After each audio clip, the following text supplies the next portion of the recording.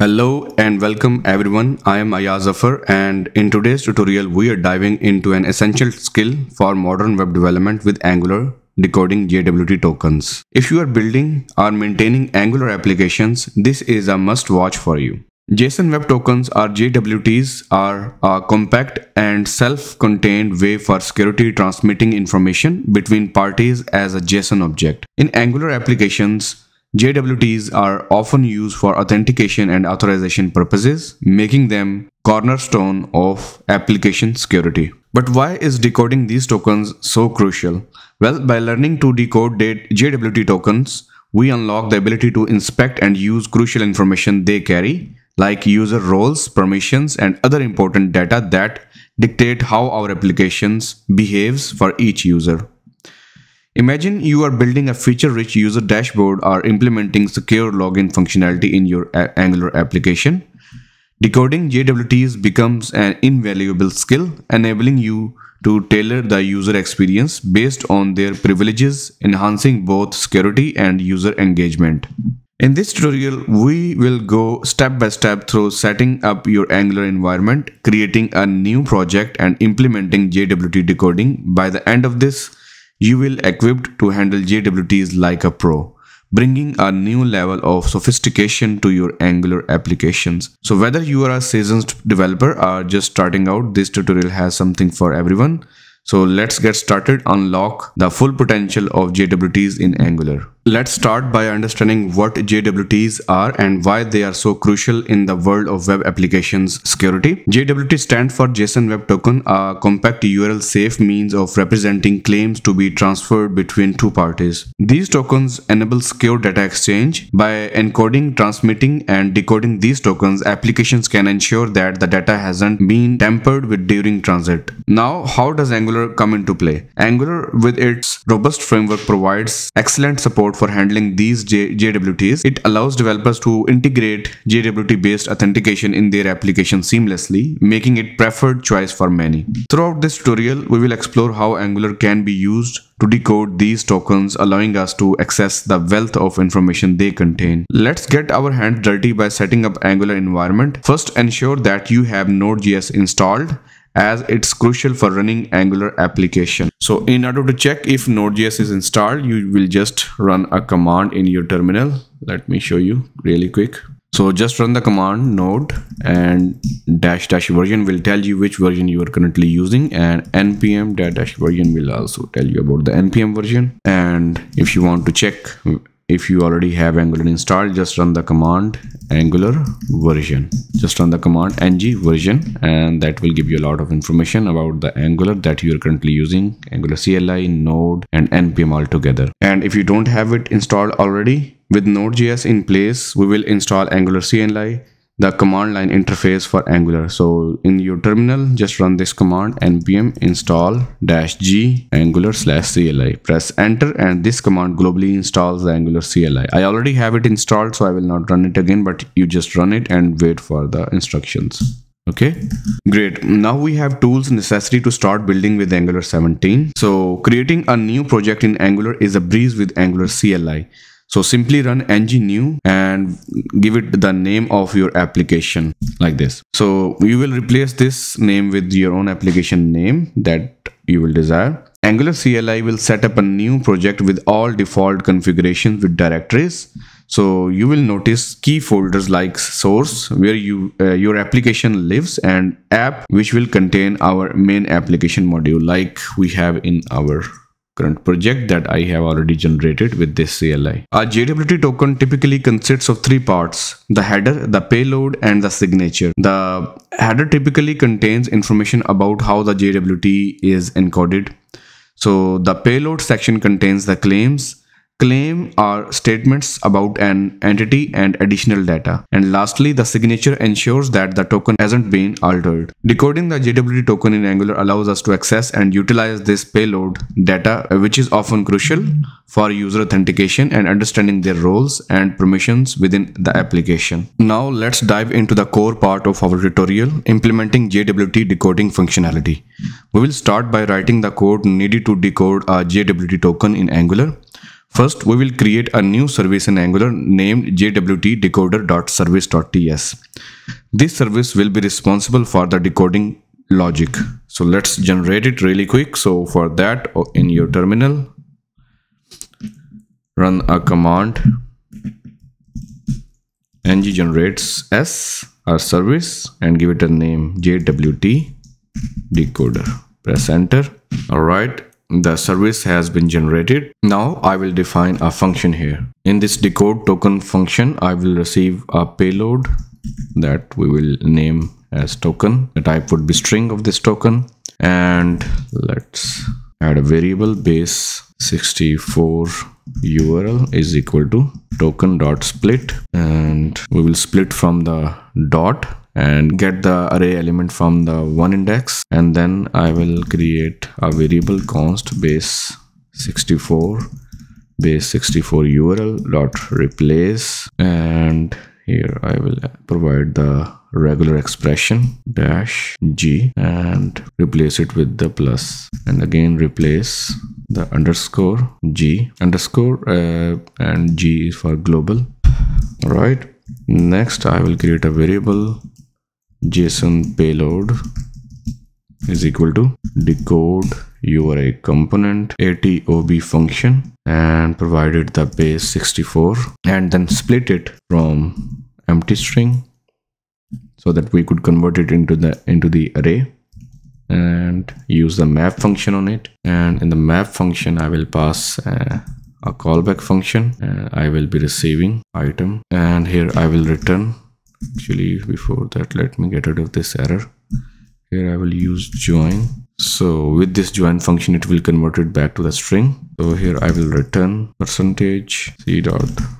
Okay. Now in the next line i will return json dot parse and json payload. So let me quickly explain.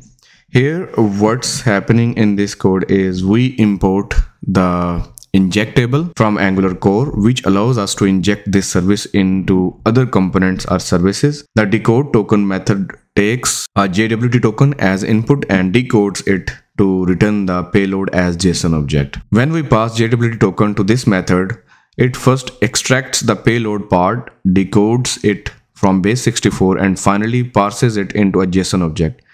This object contains all the claims and additional data encoded in the token. Now that we have our decoding logic, let's integrate this service into our Angular application. So first of all, we will inject this service in our component where we want to display this token in decoded form so for that i will be using app.component.ts so here you may use the constructor to inject but in the latest method we will be using the inject function in angular 17 so here i will define a property private jwt decoder service and jwt decoder service. Uh, actually just use the function inject like this and pass it the jwt decoder service. Now use the constructor.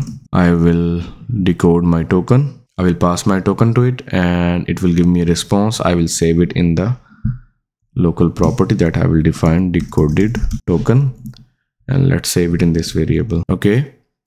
Now uh, I need to arrange the token. So from this website, I can get a sample token. You can uh, edit the payload as well if you want to like age. So this will generate a dummy token that would be valid. So just copy it and I will paste that token here. All right. So in this component jwt dis, uh, in this component we inject our jwt decoder service on initialization in the constructor. Uh, the component calls the decode token method with a jwt token and stores the decoded token in the decoded token property this way you can display the decoded information in your components template enabling a dynamic and interactive user experience. So let's quickly show it in the HTML just to see how it looks like. Okay. All right. Now you can see that I gave it a token in this form and it decoded it back to this format that is proper object and you can see the new property age that I added in that payload. By the way, uh, this is one of the methods that you may use to decode. So this is the manual process that you will uh, implement to decode your JWT token in Angular. But there are other ways like in the, if you look search in the NPM library, uh, you will find many other available libraries that are available that you may use if you don't want to write this logic by yourself. So here i will search for the json uh, jwt decode search for it. You will find many. So this one is uh, the most popular you can see these are the weekly downloads. So you can simply download it and follow the instruction. This is very straightforward and just one line code.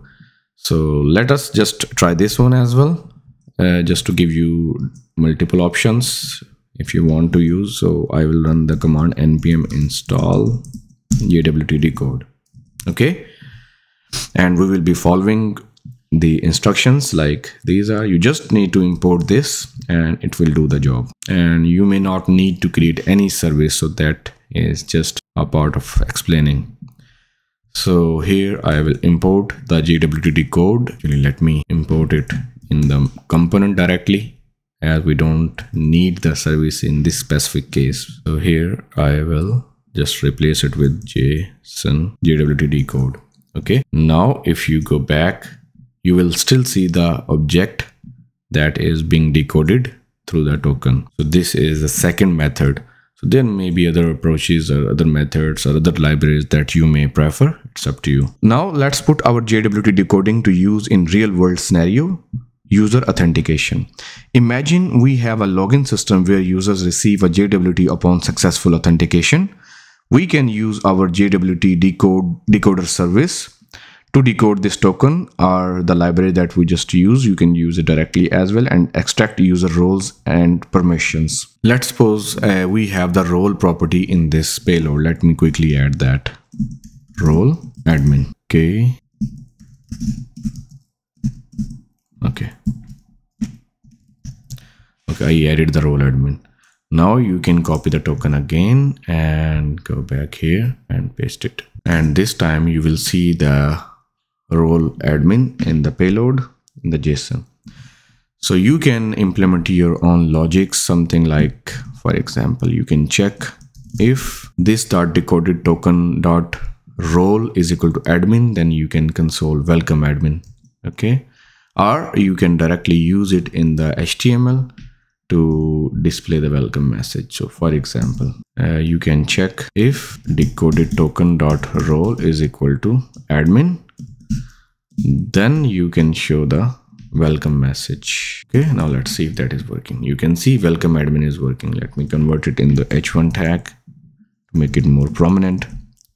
Okay, so you can see that the role was admin. That's why it is showing the welcome admin message. So here we after decoding the token we check that the user's role. If it's admin we grant them access to the admin specific features in the application. So this approach enhances both security and user experience by ensuring that users only access features relevant to their roles. Before we wrap up let's talk about an aspect as crucial as the functionality itself security. When dealing with jwt tokens it's paramount to follow best practices to ensure the safety and privacy of the data. First, always use HTTPS to transmit tokens. This ensures that the data is encrypted during transit, preventing man-in-the-middle attacks. Secondly, store tokens securely. If you are storing them on the client side, consider using HTTP-only cookies to prevent XSS attacks. And most importantly, be cautious with the sensitive information extracted from the tokens. Minimize the use of sensitive data and ensure that it's never exposed to unauthorized users. Let's quickly recap what we have covered today. We started by understanding JWT's and their importance in Angular applications. We then set up our Angular environment, created a new project and implemented JWT decoding functionality. Remember the core of JWT handling is not just about decoding but also about ensuring the security and integrity of the information you are working with. I encourage you to implement these skills in your projects, experiment with JWTs and see how you can enhance the security and functionality of your Angular applications. If you found this tutorial helpful then please hit that like button and leave a comment with your thoughts or questions and don't forget to subscribe for more content like this. Stay tuned for our next tutorial where we will explore other topics in Angular. Thank you so much for joining me today. I hope you found this tutorial valuable and that it helps you in your Angular development journey. If you have any further questions or need some follow-up, feel free to reach out through the comment section. Until next time, keep coding and stay curious. Goodbye.